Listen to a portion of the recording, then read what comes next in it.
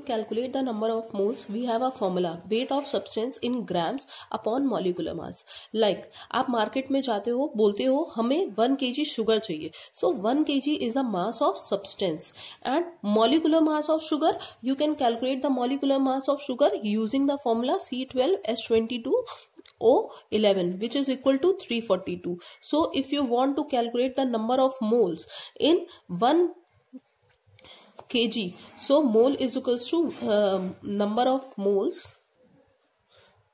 of sugar in 1 kg so what you will do mole equal weight of substance in gram so 1 kg is equals to 1000 gram upon molecular mass molecular mass is equals to 340 2 molecular uh, and finally you will get value. Molecular mass is also written in gram per mole. Why it is so? I am explaining you. So the final value you will get in moles.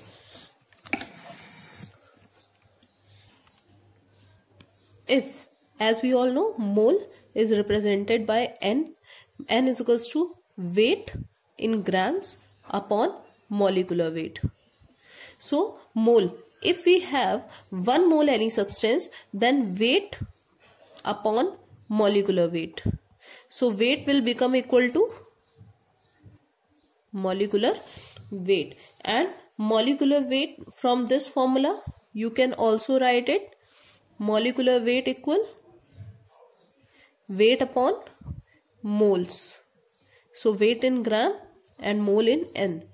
Moles so gram per mole unit of molecular weight will be gram per mole here we have a term molecular mass we have a term molecular mass molar mass sorry so molar mass is a mass of one mole of any substance one mole of any substance in grams आप किसी भी compound का one mole ले लें और उसका मास अगर आप ग्राम में कैलकुलेट करेंगे सो so जितना भी मास आएगा वो मोलर मास होगा।